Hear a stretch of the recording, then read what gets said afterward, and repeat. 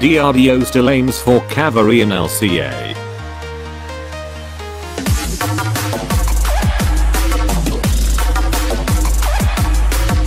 Kaveri, the indigenous aeroengine with over 25 years checkered story, may after all fly on the indigenous LCA fighter as was originally planned.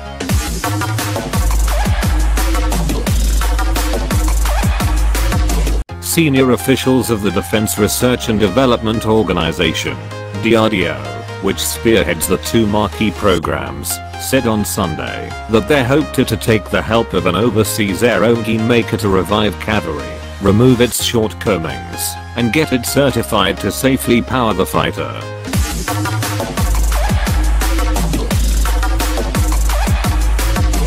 France's engine maker Snecma, which already has projects with Hindustan Aeronautics Limited, is seen as a candidate. It could come on the back of offsets or return obligations that are due after the government ordered 36 Rafale fighter planes from another French company Dassault for nearly 59,000 rupee crore.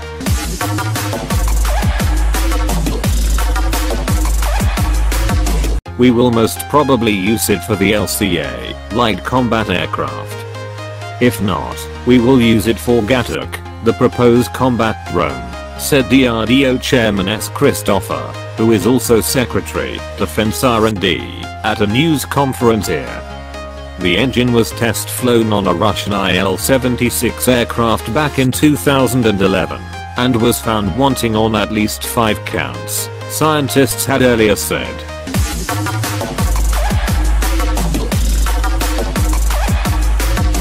CP Ramanarayanan, who as Director General, Aero R&D, heads the aeronautics labs and their programs, said 2100 rupee crore has been pumped into the Kaveri program.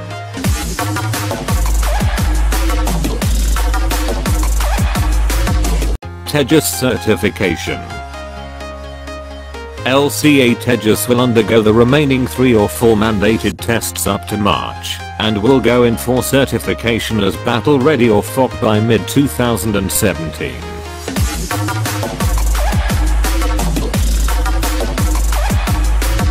Aeronautical Development Agency Director Commodore C.D. Balaji, retired, said one of the prototypes would be fitted with a pro-bore nozzle for mid-air refueling and begin flight tests in a few weeks. An actual refueling with a flying tanker would be tried out by March 2017.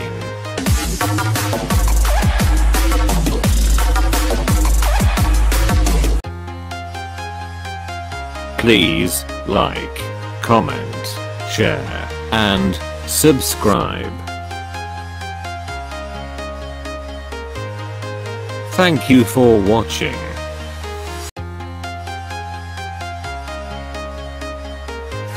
Please check out my other videos.